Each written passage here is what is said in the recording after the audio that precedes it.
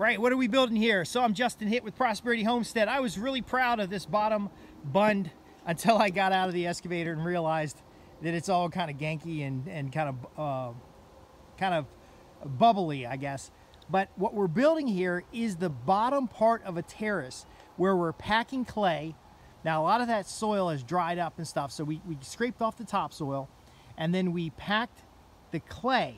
So we're digging down into the soil, getting that clay, and we're packing that clay into a bund here that's about two widths of the excavator uh, so that we can have a stable uh, in-stop or foot to a level terrace which will have two containers on it and um, those containers are going to be on a gravel pad. Now why is this so important? Now, first off, tracking this in is the only way to compact this hill. So you have to have a right composition of materials. So let me show you something here. This this is red Virginia clay. And what I did is I excavated it out of this out of this ditch.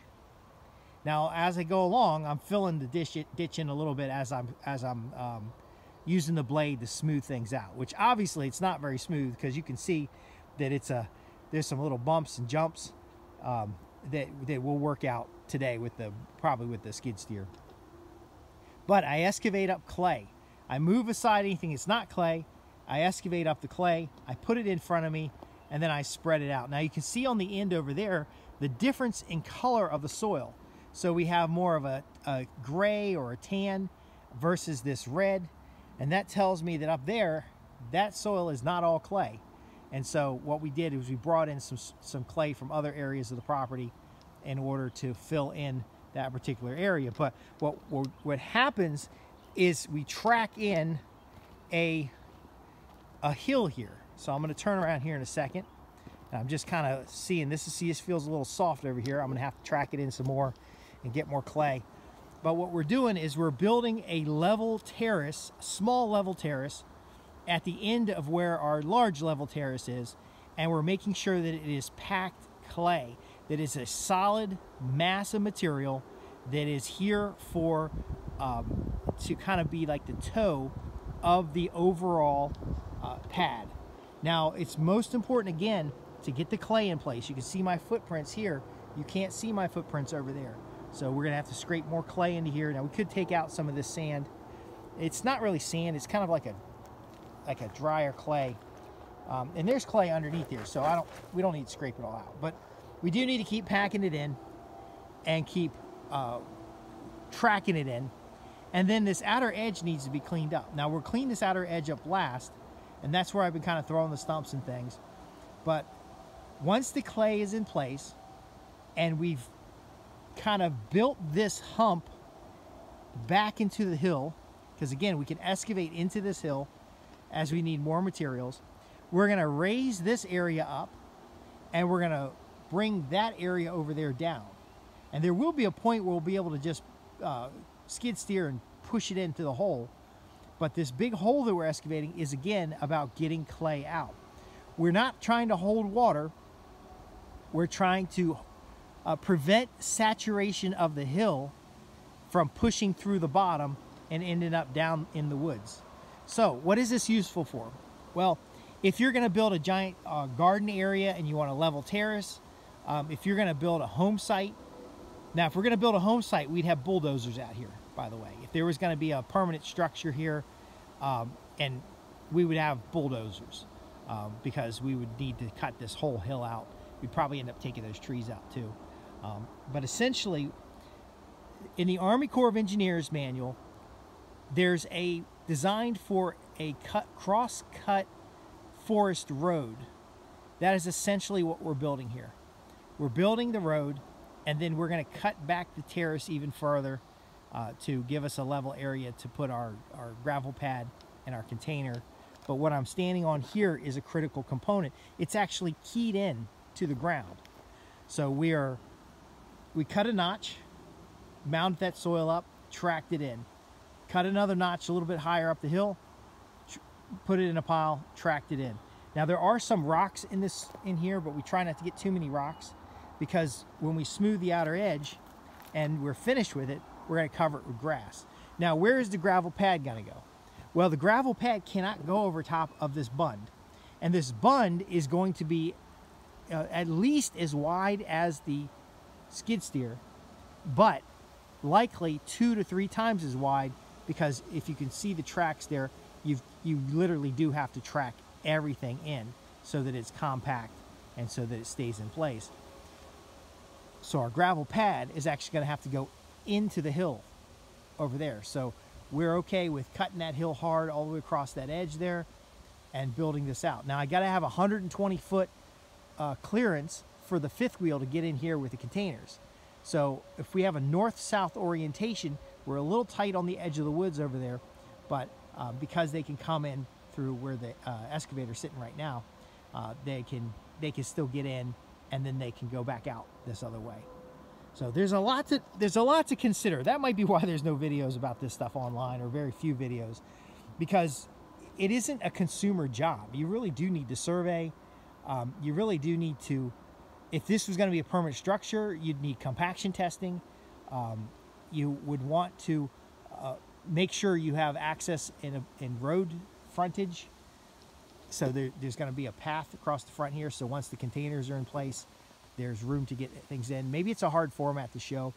But if you have any questions about this, um, there are designs online, but it's really something you want to manage a project. You don't want to come in here and try to do it yourself. You want to get somebody with bigger equipment necessarily. It'd go a little faster.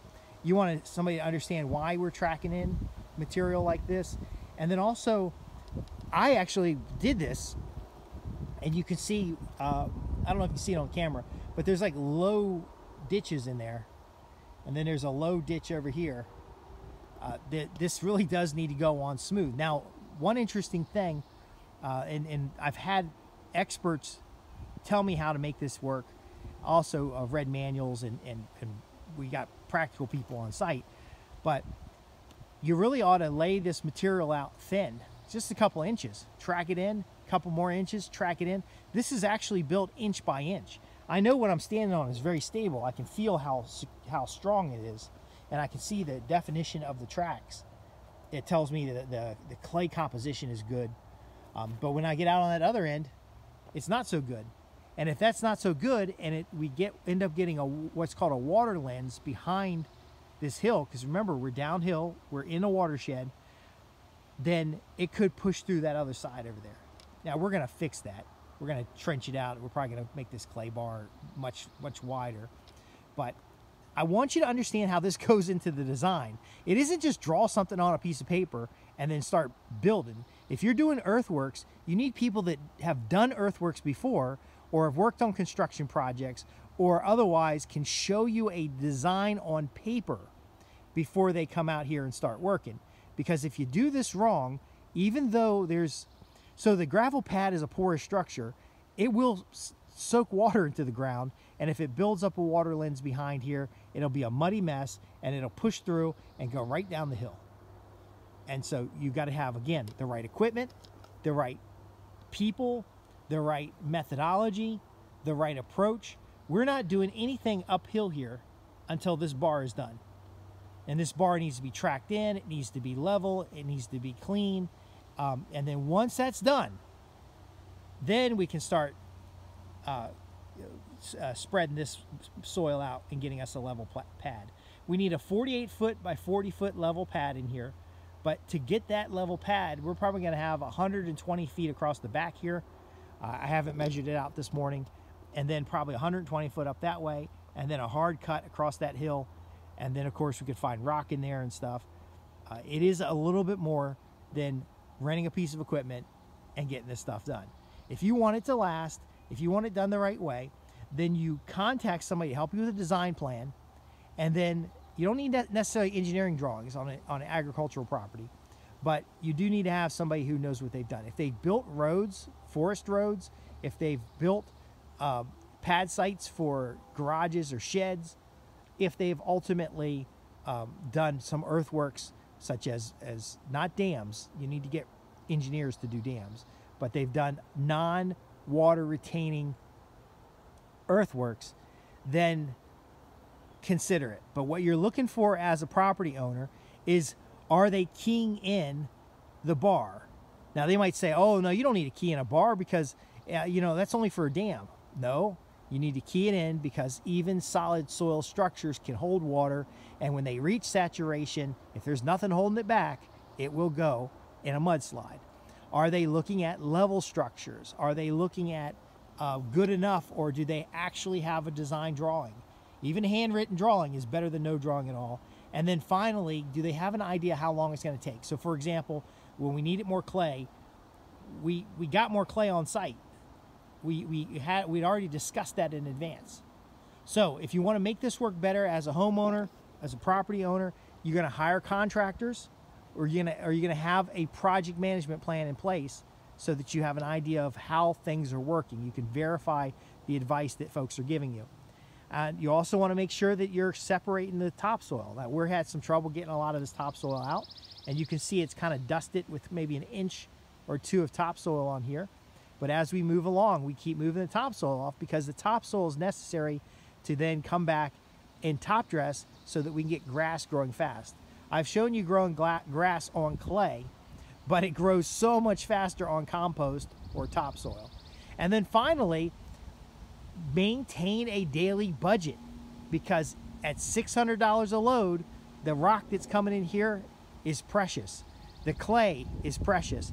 The resources are precious. So you're going to maintain that daily plan because if you had to stop a project like this now, now this is kind of stable, but if we had to stop this project now, I still need to straw, uh, seed it and straw it, and then um, cut some channels uh, on contour to prevent any erosion running.